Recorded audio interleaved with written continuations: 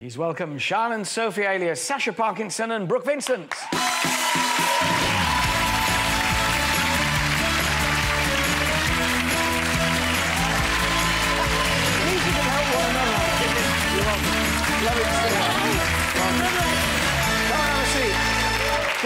At least when you're coming down in perilous heels like that, if you hold on to one another, there's less chance of you falling?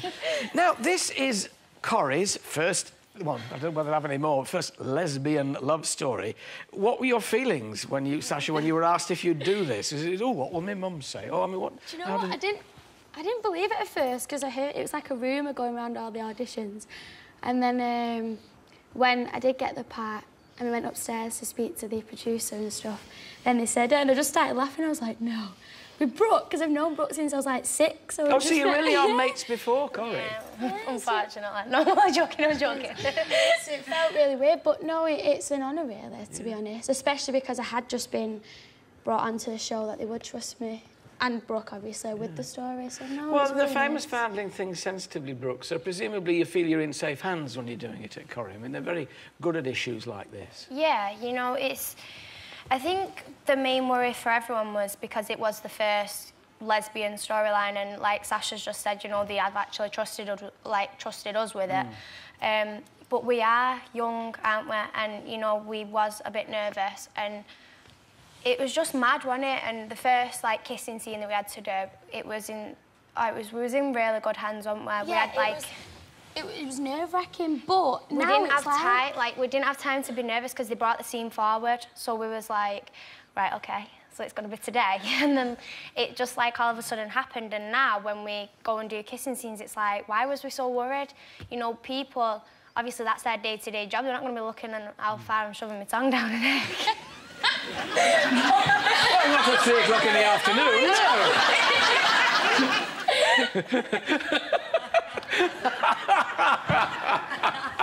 no, well, moving swiftly on. I was about to say you get plenty of support from the studio, but clearly not, not in that direction.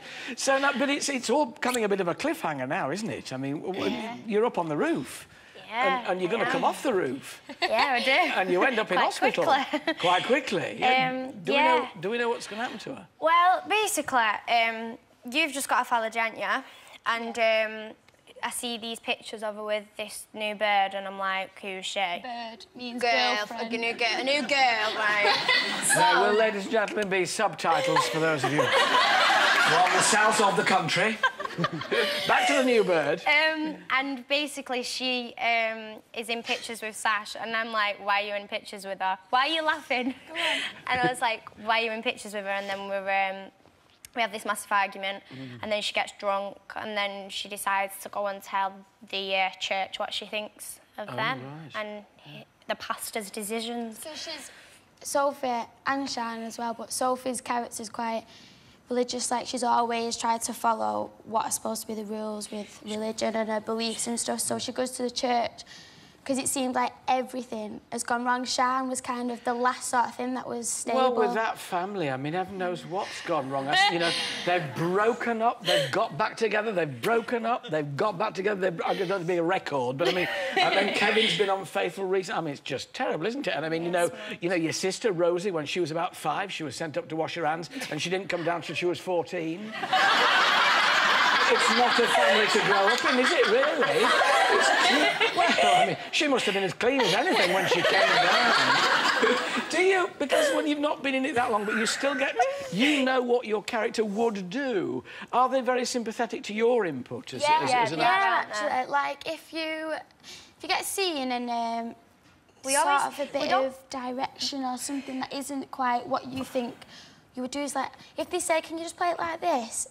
And you can understand where they're coming from. But then if you have a valid point where you think, hang on a minute, well, the other week when I did this scene, which was the scene before this, I was kind of in this mood, and then they go, oh no, you're right, you're right. Uh, it's like, they say there's so like many different scenes that the directors have to film. You know, your, it's your kind of thing to keep hold of what your character's doing. So yeah, you are know the where one who's got all the strings. Yeah. What's the reaction been on the street? I mean, I don't mean I mean coronation. I mean outside the street. The street um, public's reaction. We was expecting like not bad comments, but we weren't expecting it to blow up as much as it has. You know, on Twitter and you know Facebook and things, people have been messaging us and like saying, you know, really well done. And to us, this is our job, you know. Mm. And but you must feel a degree of responsibility. I mean, when everyone's yeah. acting a perhaps with a minority group, you feel a responsibility to that group. You know, you must feel a responsibility to lesbians. Oh, when we've had like interviews recently we for magazines and stuff, we're getting angry, and then like the people who are interviewing us just like, it was, you know, I was only asking a question. but we, at points, like because we have all of a sudden become